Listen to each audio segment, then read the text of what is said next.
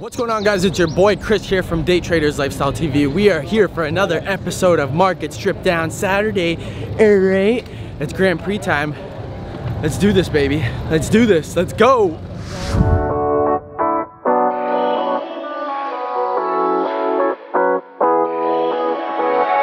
Yeah, I'm restless, so give me something to do.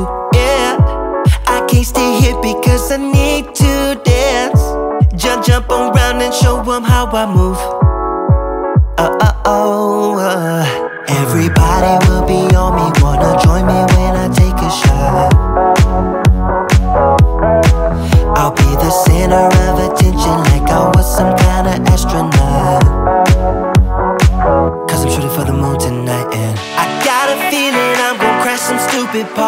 party Tear the ceiling down in front of everybody. If someone's pouring up a drink, I'm calling shotty I'm gonna find a crowd so I can put it on me Swinging from the chandeliers, I won't be sorry. I got a feeling I'm gonna crash into this party. I'm just an accident waiting to happen like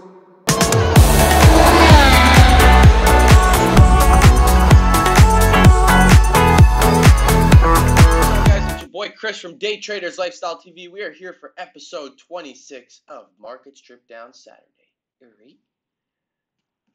Alright. Um, first off, like always, we're gonna start with gold. My prediction is that we are going to get rid of this line and then we are going up from the current market price as long as we close above on this weekly candle um, which like always my weekly candle closes an hour after the market opens 6 p.m. Eastern Standard Time so as long as I get a close above the 14.11.52 I'm looking for a push up to the 14.35.7 with a retracement down to the 1382.33 by the end of the week um, just to show you what it looks like on the weekly I'm expecting it to close above this wick here on the left of the crosshair um, and then have a slight push up to create an upper wick and then a collapse from there to start a downtrend somewhere back into this area over here.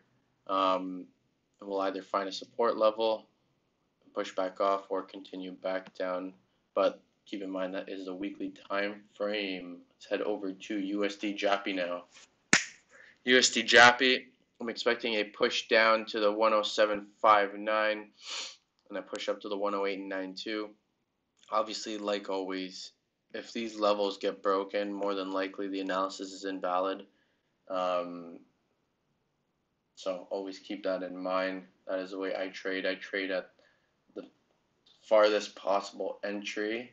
Um, so if it was to come down to here and it broke below and pushed down to here, then obviously this is going to become invalid, right? So that is the way that I personally trade. Let's head over to Euro USD now.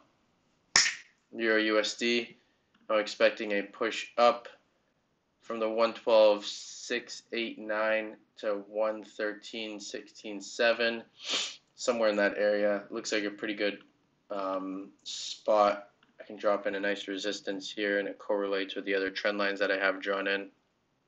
So it looks like a good area for me to sell at um, with an end, end target take profit of 111.82.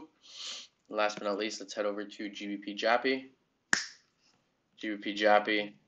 I'm expecting a push down to the 135.37 with a push up to the 136.56 possibly even up to and around oh, oh you want to move for me um, possibly up to and around the 136 98 137 I hope you guys enjoyed another episode of Market Strip Down Saturday. Like always, hit the like button, smash the subscribe, and share it with your friends and family. Peace.